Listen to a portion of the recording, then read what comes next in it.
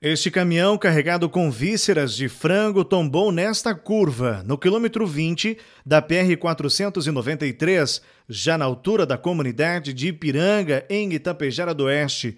No caminhão estava apenas o condutor. Duas equipes do SAMU foram acionadas, assim como o Corpo de Bombeiros, que fez a retirada do motorista que ficou preso ao painel do veículo. Sou acionado pelo SAMU aqui para um, um, capotamento de um veículo caminhão, estava fora da rodovia aqui, já disse que o, o motorista estava preso no, nas ferragens. Chegamos no local, constatamos o veículo preso, o motorista preso nas ferragens ali, com as pernas presas, inconsciente, é, um local difícil acesso ali mas com o aparelho desencarcerador ali, o, conseguimos, conseguimos liberar ele e entregamos ele para o SAMU ali para cuidados médicos. Grande parte da carga ficou esparramada pela lavoura. O socorro foi ainda mais difícil por conta do material que ficou no local. Pouco complicado, muito liso, né? E o motorista inconsciente, não conseguimos identificar é, o, o, nome dele ainda, né? Mas estava é, um local de difícil acesso, mas a, deu, deu, deu certo ali, conseguimos retirar ele das ferragens ali e ele está encaminhado para o hospital, está inconsciente, mas está respirando e vamos aguardar o, os cuidados médicos aí. Né?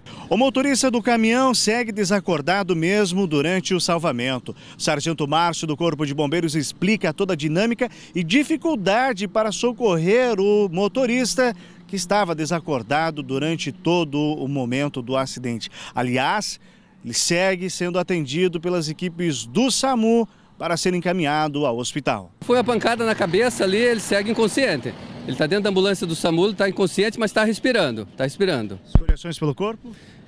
Mais na, na, face, mais na face e a região da, da cabeça ali. O, o, mais ele não tem muito ferimento não. As, as pernas ficaram presas, mas não, não tinha sinal de fratura. Ela ficou presa apenas pelo, pelo painel do, do caminhão ali, né? Que é um veículo pesado, né? O motorista, que não teve o nome divulgado, foi encaminhado para o Hospital São Lucas em estado grave. Ele foi entubado ainda no local. Uma manhã movimentada para equipes de socorro que se dividiram ao longo do caminho para atender aos chamados.